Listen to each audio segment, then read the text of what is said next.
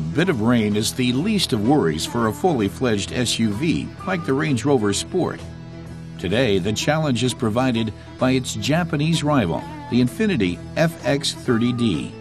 Infiniti is Nissan's high end marquee and only recently debuted on the European market. On the design front, the two could hardly be more different. While the Range Rover Sport has bold edges, the FX30D has smoother contours and a more elegant appearance, unusual for an SUV. Contrast that with the trademark Land Rover nose. With the FX30D, the lines converge at the back. It has a sloping rear, while the Range Rover Sport possesses a classic straight back.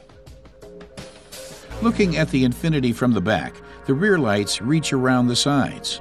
In addition, a roof spoiler underlines the car's sporting aspirations. Compare that with the Range Rover Sport's more reserved look.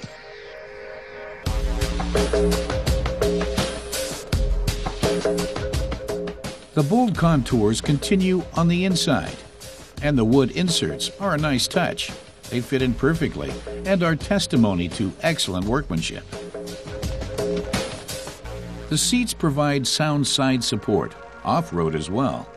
Very welcome is the Range Rover's relatively limited amount of interior gadgetry. It does fine with just the necessary knobs and switches.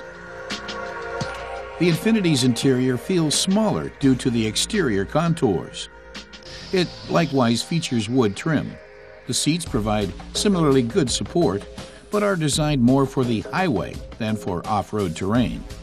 The cabin has an over the top futuristic feel. The Range Rover Sport is based on the Land Rover Discovery and thus profits from all the experience of that model. The Sport designation stems from the model's more dynamic handling, itself a product of smaller dimensions and weight.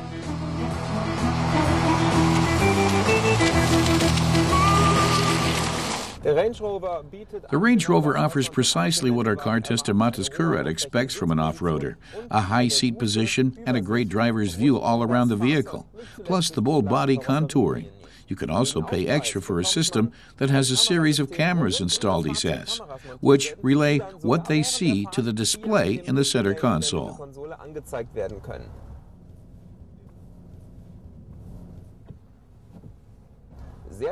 Matas likes the knob in the middle that allows you to switch between different terrain settings. It makes off road adventures less daunting for the uninitiated.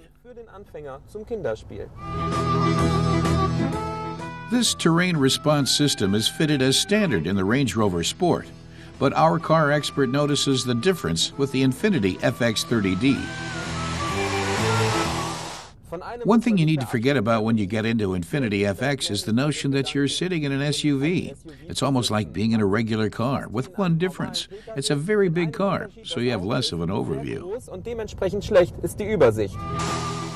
But the high class Nissan does have its positive sides as well. The Infiniti boasts an extensive range of features in the premium version, says Matas. And it's all free except for the metallic paint job for 900 euros. You get cameras on every corner, a park assist, sat nav, a multimedia interface for your iPod, as well as USB sticks or an MP3 player. You're spoiled with everything your heart could desire, he says. Man wird verwöhnt mit allem, was das Herz begehrt. The 3 liter diesel is a brand new development from Infiniti, and although it has a little less power, Matas thinks the car is quicker off the mark than the Range Rover Sport. And the Infiniti is similarly up to date on the safety front. The FX comes with six airbags and an intelligent speed regulator. We tried out the S Premium version of the Infiniti FX30D. The V6 diesel engine delivers 175 kilowatts of power and, according to the manufacturer, consumes just 9 liters of diesel over 100 kilometers. It makes the dash to 100 kilometers per hour in 8.3 seconds. The Range Rover Sport also has plenty up its sleeves, including 8 airbags and off road features galore, such as air suspension, active roll mitigation, and hill descent control.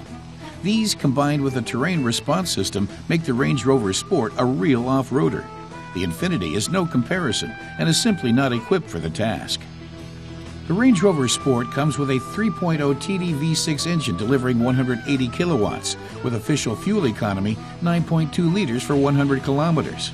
To sum up, the Range Rover Sport is a proper off road vehicle, while the Infiniti is merely a pretender that should really stick to the roads.